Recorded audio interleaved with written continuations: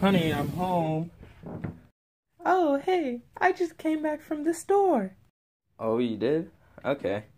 So, uh, what, what all, what all did you buy exactly? Don't worry, I only bought a couple of things.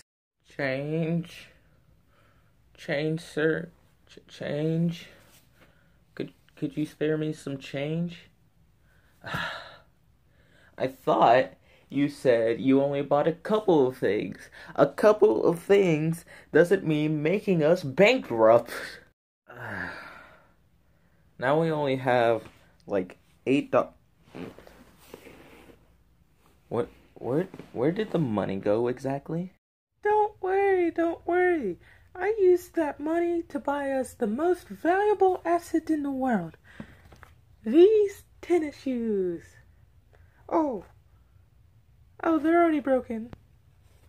Oops. R- really? No, I can't.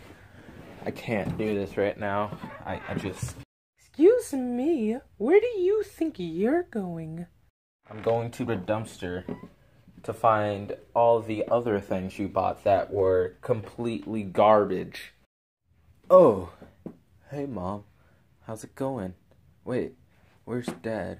Oh, hey, Juan. Juan, don't, don't, don't worry about that. Um, let's just go on home, okay? Ugh. Whatever you say, mother. Wouldn't it be nice to live?